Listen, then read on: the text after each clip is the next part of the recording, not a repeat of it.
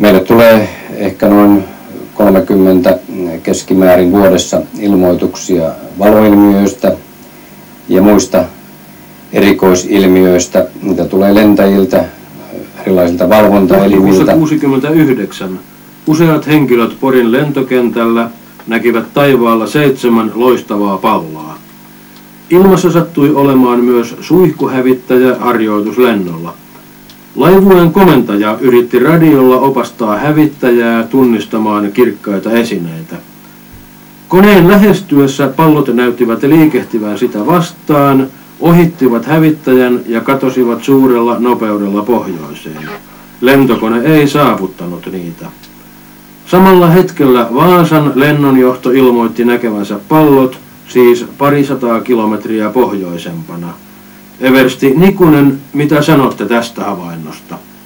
Tällainen todella sattui tuossa tuona kuvattuna ajankohtana ja havaitsijajoukko oli harjaantuneita koulutettuja ohjaajia, joten tässä mielessä voisi sanoa, että paras mahdollinen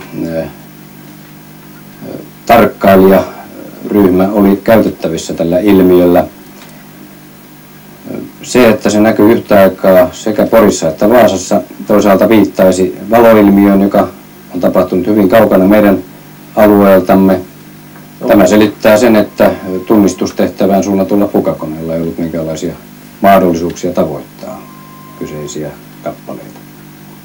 Toisaalta taas sitten tämä lukumäärä ja liikesuunta tai liikkeen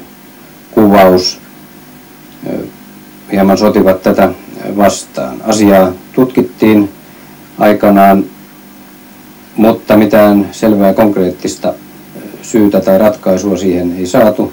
Tutkalla ei tässäkään tapauksessa ollut havaintoja kyseisestä ilmiöstä, joten siinä ilmeisesti on UFO ollut sanan parhaassa merkityksessä. Päätelmättä jo tapani...